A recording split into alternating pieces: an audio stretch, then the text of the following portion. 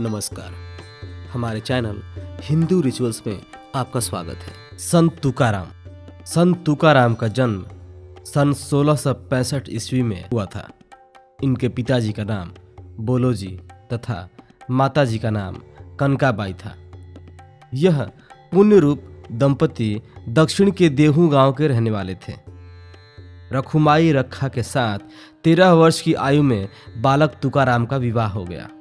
जब पता चला कि वह दमा की रोगी है तो माँ बाप ने अपने पुत्र का दूसरा विवाह कर दिया। नई पत्नी थी जीजाई।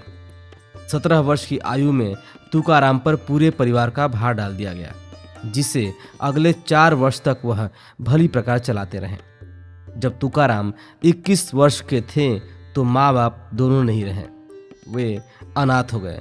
फिर बड़े भाई साव जी की पत्नी मर गई। भैया पूरी तरह विरक्त हो गए। यह भी उदासीन रहने लगे। जिन्हें देना था, वे करीब न फटकते और जिन्हें लेना था, वे चक्कर काटने लगे। ये दुर्दशा के दिन थे। पैतृक संपत्ति अस्त व्यस्त हो गई।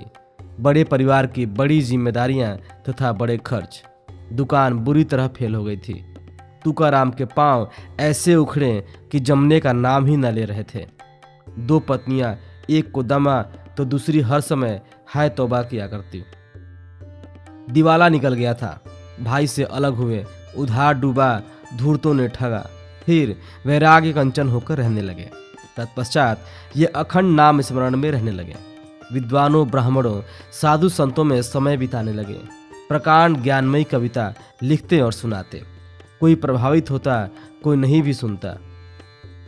जाति से शुद्र थे, इनके मुँह से मराठी अभंग निकले। कर्मनिष्ठ ब्राह्मण इस बात को पसंद नहीं करते। पुणे से नौ मील दूर वेद वेदांत के पंडितों ने देहू के हाकिम से आज्ञा दिलवा दी ताकि तुकाराम वहाँ रहे ही नहीं। तुकाराम को गाँव छोड़कर चले जाने का आदेश मिला। उन्होंने पंडित रामेश्वर भट्ट को बताया कि उनके मुँह से जो अभंग निकलते हैं, इन्हें वह नहीं कहता। भगवान पांडुराम की कृपा से निकलते हैं। आप ही ब्राह्मण, आप ही ईश्वर, यदि आप कहे तो मैं अभंग बनाना छोड़ देता हूँ। पंडित रामेश्वर भट्ट ने कहा कि भविष्य में लिखना बंद कर दो।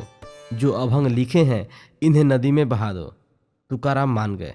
सारी बहियाँ इंद्रायणी की धारा में डुबा दी गईं। विद्वान उनके लेखन को निषिद्ध मानने लगे।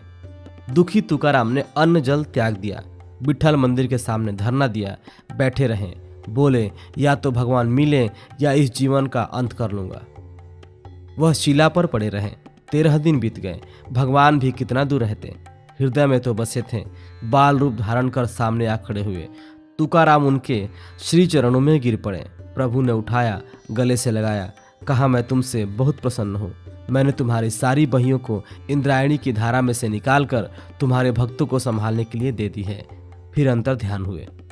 सगुण साक्षात्कार हो चुका था। इसके बाद वह पंद्रह वर्ष और जीवित रहे। उनके मुँह से अमृत वर्षा होती रही। वह स्वानुभव सिद्ध उपदेश देते रहे, लोग कृतार्थ होते रहे।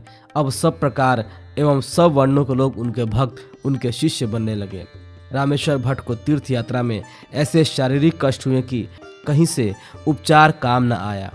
उसे ज्ञानेश्वर महाराज ने स्वप्न में तुकाराम जी के पास भेजा, तब वह ठीक हुआ। अब तो प्रकांड पंडित, कर्मनिष्ठ और तेजस्वी ब्राह्मण भी तुकाराम के शरण में आने लगे। इसी में कल्याण एवं गौरव पाने लगे। शिवाजी भी उन्हें गुरु बनाना चाहते थे, मगर उन्होंने छत्रपति को अपने नियत गुरु समर्थ रामदास के पास भेजा।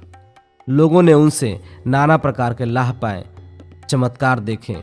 सन 1706 की चैत्र कृष्ण पक्ष दो के दिन प्रातः के समय उन्होंने यह चोला त्याग दिया।